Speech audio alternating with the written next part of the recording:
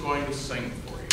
We have songs this evening that I'm sure you'll love, songs from the 1900s to the 1950s, the American stage, both operettas and musicals.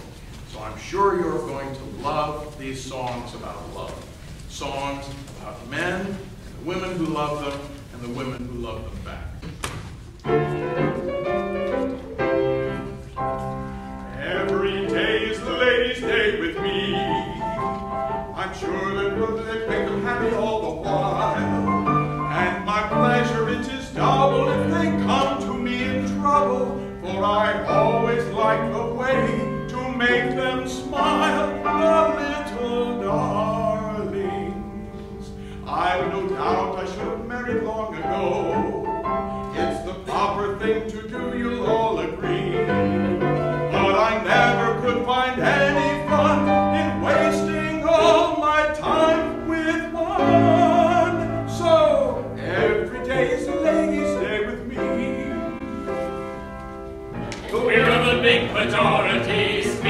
much authority of everything we've learned where wifey is concerned. If you're a bachelor, lend a beer so we can make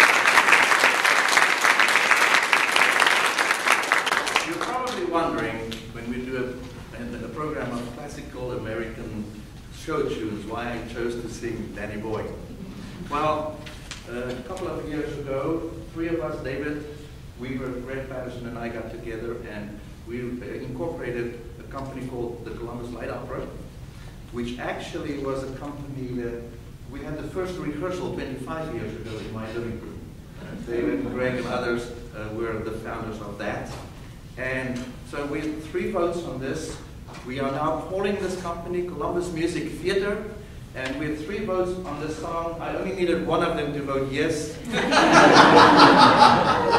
that's how I got say to no. Who could vote no? That's how I got to do one of my favorite songs. I was inspired to do this song because in one of the rehearsals, we had two wonderful people there, one of whom I would like to introduce to you now. Ruth, would you come up here? Ruth Fullen goes back with my family, my wife's family, for many, many years. Ruth's daughter and my wife were friends in high school, in school, uh, in high school in a musical uh, group together. Ruth and I have done a couple of shows we did the funny thing happened on the way to the forum, and we also did the South Pacific, in which I had the privilege of playing Emile de Becque, and Ruth played Bloody Mary. Ruth has re uh, retired and started or joined the Grandparents Living Theater 14 years ago. I can't tell you how old she is, but she retired at full retirement age. and I will tell you that, that at the first at the first rehearsal that we had together, to hear John, we will hear later, and to hear Ruth sing brought tears to my eyes, and I know it will to yours too. Ruth Fullen, your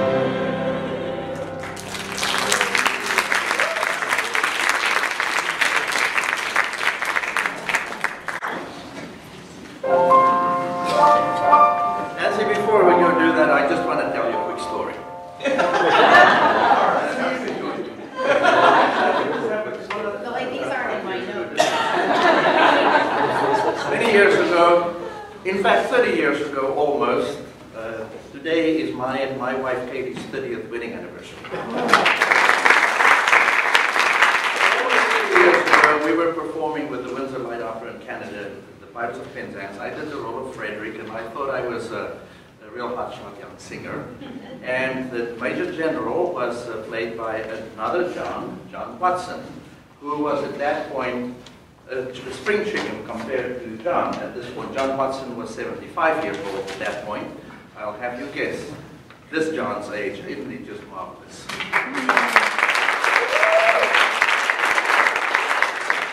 So, uh, at intermission, I, I, sat with John Watson, who played the Major General, in the dressing room. We shared the dressing room. And I said, John, your Major General song, you know that one, I am the very model of a modern Major General. I can't say the words, it's too hard. That was so wonderful. Would that when I'm your age, I can sing like you do. And he said, really, would that at your age you can sing like I do. that's marvelous. Would that at my age I can sing like you. Wanting you. Wanting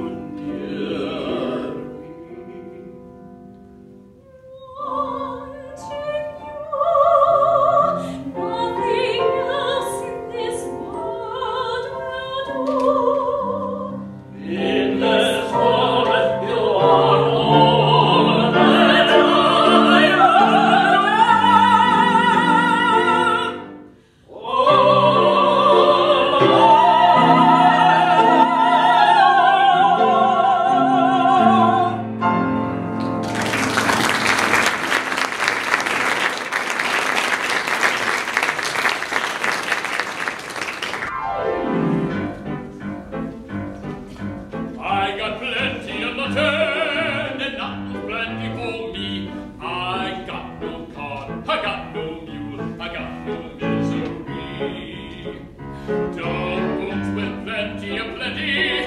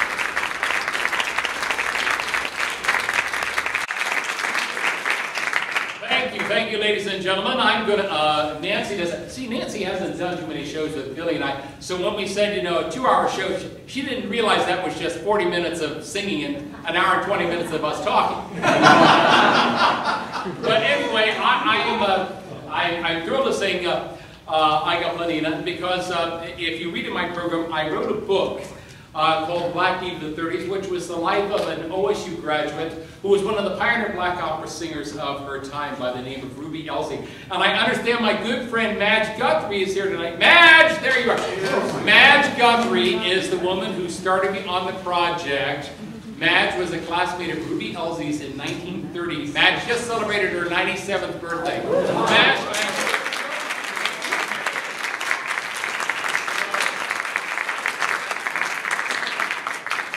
Uh, uh, every act, every performer has their dream role. For me, it's Porgy. And for obvious reasons, I'll never play Porgy. you see, Porgy's a Baptist and I'm Catholic. so anyway, but, but it's a wonderful show, and, uh, and it's uh, one of the great, uh, great American masterpieces. And we're going to close the first half of our program with Becky joining me for the beautiful duet, which was introduced by Anne Brown and Todd Duncan. And, and Madge actually got to see Todd Duncan in Act 1 of uh, Scene 1 of Porgy and Bess when it played at the Hartman Theater for the first time in 1943. Todd Duncan took ill, and so he was replaced after the first scene by Eddie Matthews, who was originally the Jake in that, and was about half the size of Todd Duncan, so he really was a very short Porgy. So, so from Porgy and Bess closing the first act with the beautiful uh, Bess, You Is My Woman Now.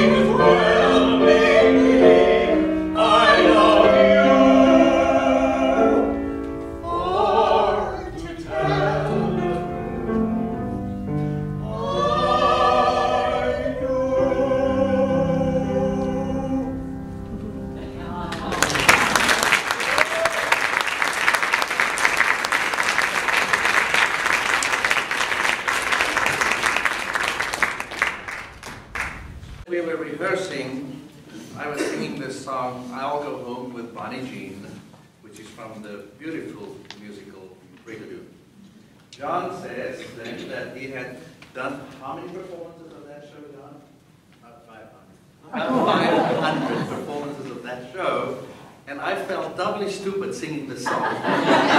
because this kid is supposed to be 17 or 18 years old singing the song about his Bonnie Jean, and here I'm singing, at my age, that song, Wishful Thinking. One of the guy who actually was 500 times in the show. so I thought that it would be appropriate if you could help me and sing along with me the chorus. And Nancy, why don't, why don't we teach in the chorus? It goes just like this.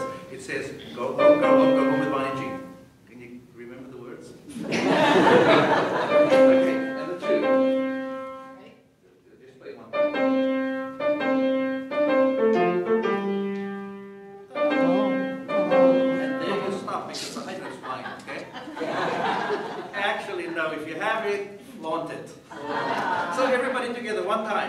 Go!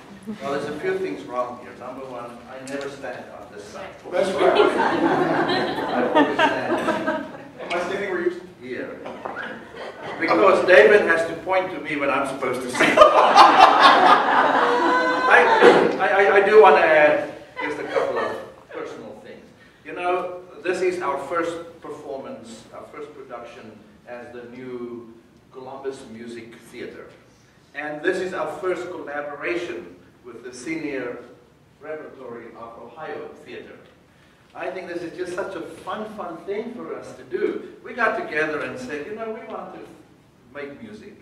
Why don't we start something up, kind of like what we did 25 years ago? Uh, I think what we forgot about is that we're all 25 years older. And the memory is gone for the lyrics. so David said, well, what shall we call this? Greg said, well, why don't we call this Solo, S-O-L-O, Stars of the Light Opera. And David says, no, why don't we call it a goof, A-G-O-O-F, a gaggle of old folks. That's what he said. and I am really so pleased to be a part of this because as I was sitting here tonight listening to John and to Ruth, I realized that all I'm doing is I'm apprenticing to be a part of SRO very soon. Isn't it strange how life passes us by and how quickly time flies? And I'm so thrilled that I think I know almost everybody in this room. You're a wonderful group of friends for so many years. And the benefit of having a small audience like this, I could tell everybody came back after and nobody left after. Whipcraft, Whipcraft. We got sunlight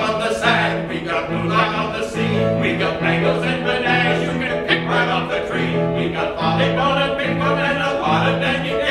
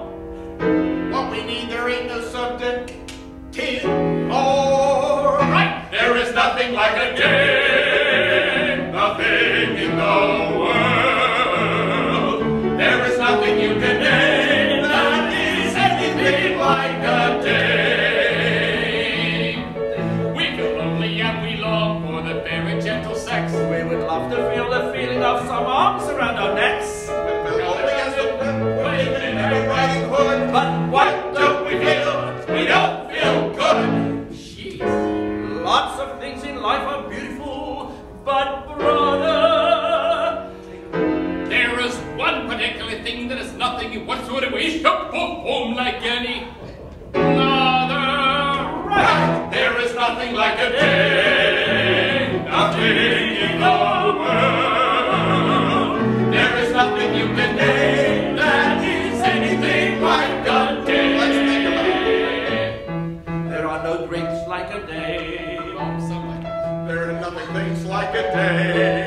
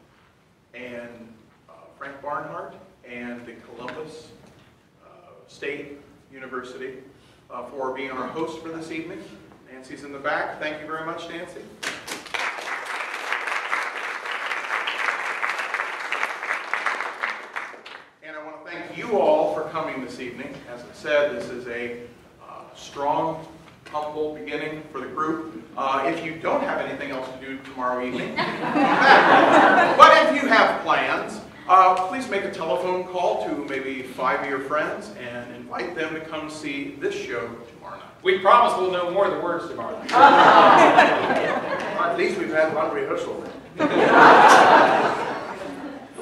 I have to say one more story. Since the music went quicker than we thought.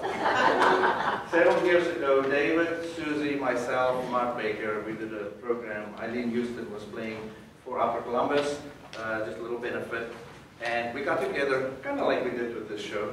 And uh, about 15 minutes before, we actually had two rehearsals for this show. And uh, we decided, okay, Suzy, you do this, we'll all do this together, then, you know, I will do it. And we put the program together, about an hour-long program, in about 15 minutes before the performance. And it was down Bill Miller, he was there, it was in the flex space at the opera offices. Afterwards, a gentleman came to me and he said to me, that was one of the most perfectly rehearsed programs I've ever heard. How long did you guys rehearse for that? I said, myself, at that point, 55 years. Suzy at that point, uh, years. Eileen, 50 years, etc., etc. And that's what this is all about. This is a lifetime.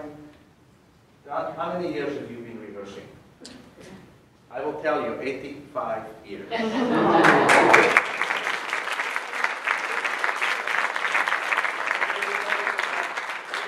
Uh, Ruth, you know, hopefully someday when we get to re- have rehearsed as many years as you have, we will also be perfect. And special thanks to Nancy Nocks. Special.